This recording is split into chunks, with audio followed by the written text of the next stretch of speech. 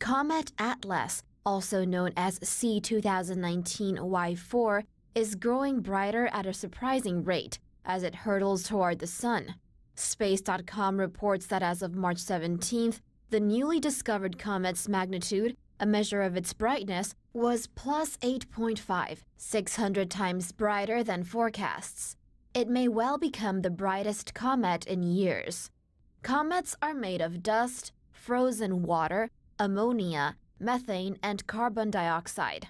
Citing Karl Battams of the U.S. Naval Research Laboratory, Space Weather Archive reports Atlas is shedding huge amounts of gas and it may yet disintegrate before reaching the Sun.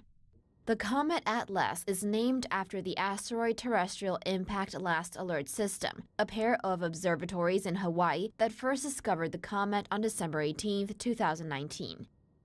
Space Weather Archive reports Atlas began heating up two months before reaching the perihelion, or the nearest approach to the Sun. Should it withstand the sun's heat, the comet will loop inside Mercury's orbit and become visible to the naked eye on Earth in April.